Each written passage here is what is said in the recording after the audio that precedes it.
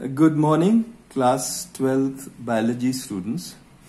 Uh, this is the second part of the lecture on evolution from chapter 8.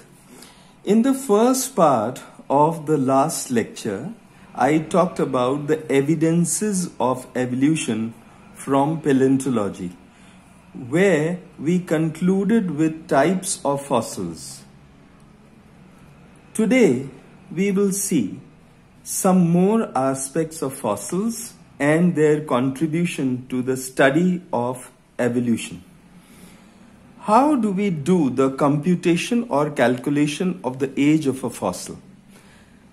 Now, the age of a fossil is determined by analyzing the radioactive substances present in the rock from which the fossil was recovered.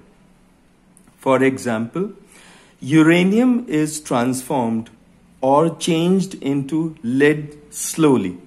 1 million grams of uranium produces 17,600 grams of lead in one year. So, by estimating the amount of lead in a rock, its approximate age can be calculated. Likewise, radioactive carbon dating method is extensively useful to determine the age of a fossil. Let us come to the most recent. The most recently used method used to determine the age of the fossil is by noting the time for transformation of radioactive potassium to argon and rubidium to strontium.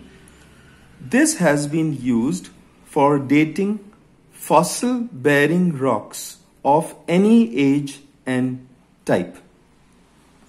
Isotopes with longer half life periods are of great significance in such calculations. Let me quickly remind you of what half life is. The time it takes for one half of the atoms of an unstable element to decay radioactively into another element is called half life. Having said that, let me throw some light on mass extinctions.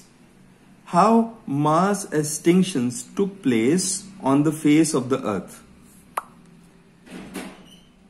Extinction is the permanent loss of all members of a species.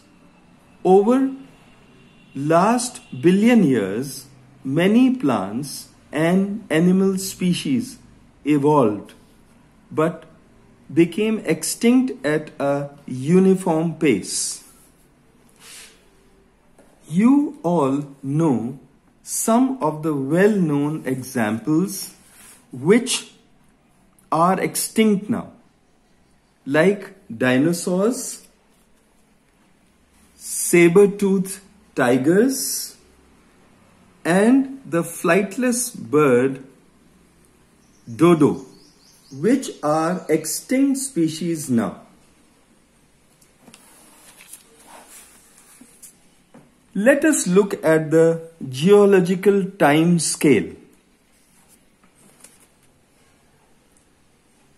which is found on page 295.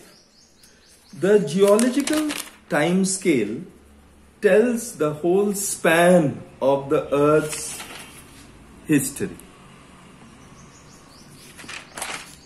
This is from the time over 350 million years ago. On the basis of time, the geological history of the earth has been divided into five eras, which are namely Archaeozoic, Proterozoic, Paleozoic, Mesozoic, and Cenozoic. Each era includes several periods. Each period is further divided into epoch or epoch if we pronounce it that way. Each period listed on the geological time scale on pages 297 and 298 gives you an idea of the age of the fossils.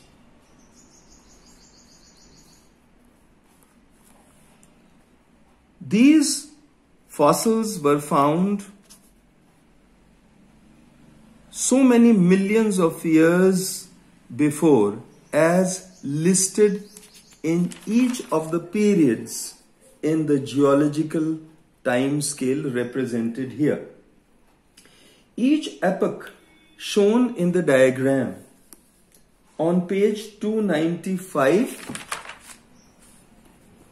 295 and page 297 also shows the kind of animals and the kind of plants and how these evolved over 350 million years from primitive unicellular forms to the present multicellular or advanced forms.